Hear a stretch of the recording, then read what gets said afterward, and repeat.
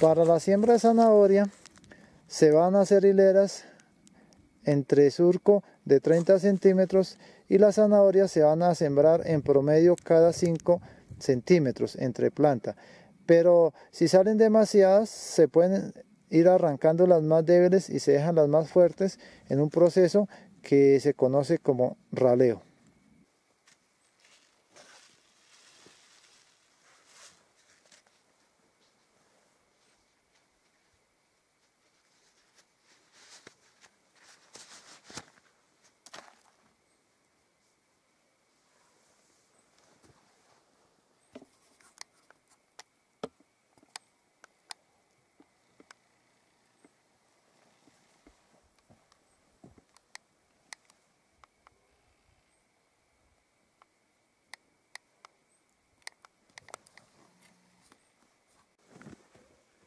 Lo ideal en una era, cuando uno siembra hortalizas, es que cuando uno esté por esta parte alcance uno a trabajar hasta la mitad y si hay otra persona que le ayude, alcance a trabajar la otra mitad.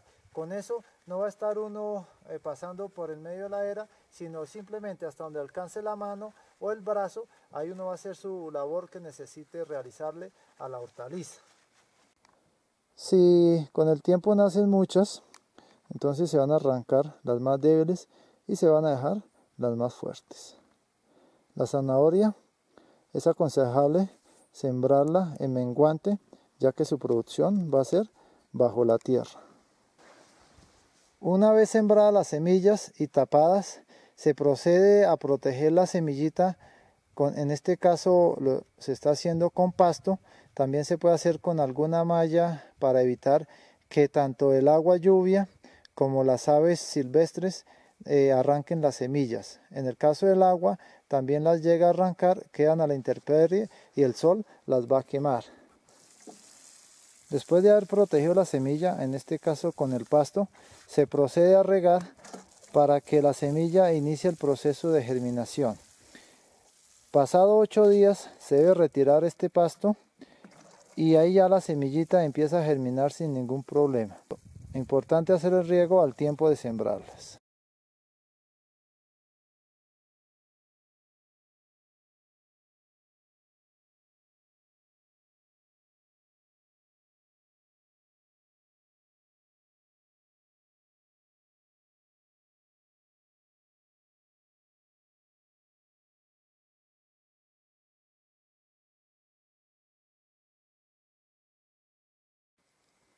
Ya ha pasado un mes desde que se hizo la siembra de la zanahoria.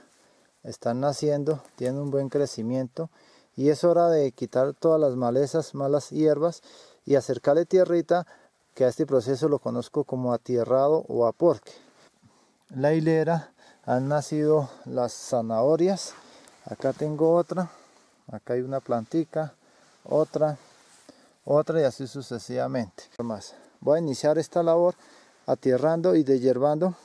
Con eso la zanahoria va a coger más firmeza, más fuerza y va a seguir su crecimiento.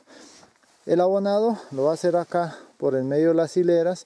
Voy a utilizar gallinaza, es un abono que producen las gallinas, un abono orgánico.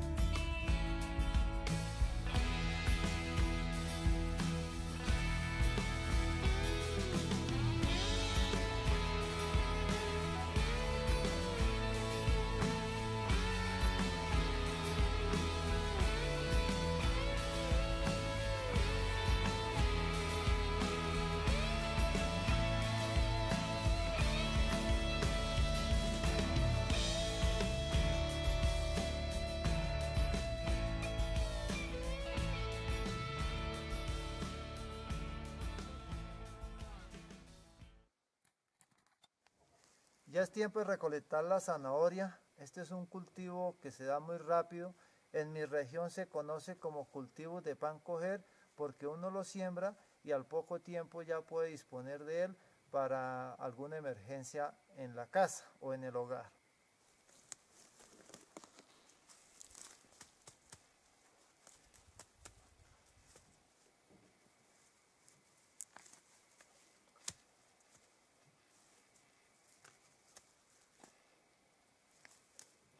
La zanahoria se puede sembrar en los climas fríos cuando son países tropicales o iniciando la primavera en los países con estaciones. En la zanahoria tenemos varios tipos. Esta es una de las eh, que más eh, da grosor. Hay unas que son más delgadas dependiendo para uno para qué propósito los desea en la casa. Estas son zanahorias.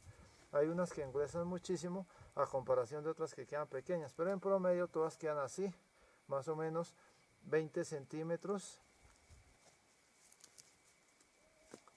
Con una zanahoria de estas puede uno disponer en su casa, está aún mucho más grande que esta, puede uno disponer en su casa para los diferentes eh, alimentos que se necesiten hacer, inclusive para hacer jugos y así bajar algunos niveles eh, de grasa o de azúcares en la sangre, ya que esto regula muy bien tanto la circulación como la digestión.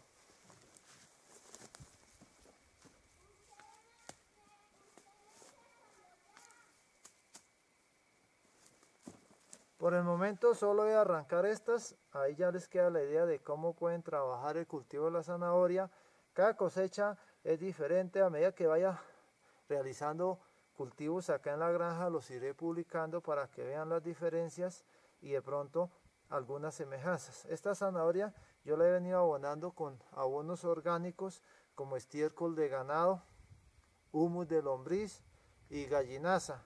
Esos son productos naturales, productos orgánicos y la zanahoria los asimila muy bien ya que es un cultivo que se puede recolectar supremamente rápido.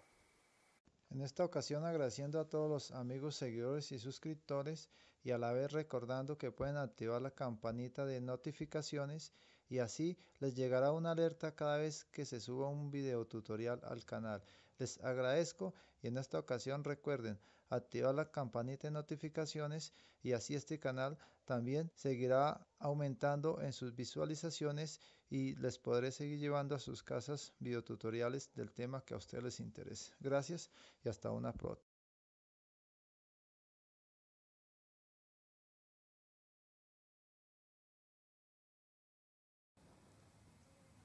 Acá les muestro el tamaño de las mazorcas. Esta ya creo que dentro de unos 20 días la estaré recolectando. Acá hay una, por acá está saliendo la otra. La primera que sale es la que va a tener el grano más grueso. Igual toda esta va a ser consumida verde. Ya han pasado cerca de seis meses desde que hice el trasplante de los semilleros a las bolsas individuales. Algunos eh, se han muerto por ataques de gusanos y otros se murieron por demasiada agua. Ya ha iniciado a nacer la cebolla Tokio. He sembrado ya tres semillitas por espacio. Acá se alcanza a visualizar algunas que ya han nacido. Entonces eh, llevan dos semanas acá en esta cubeta. Bajarlas eh, al menos otras dos semanas y luego sí las voy a trasplantar al sitio definitivo.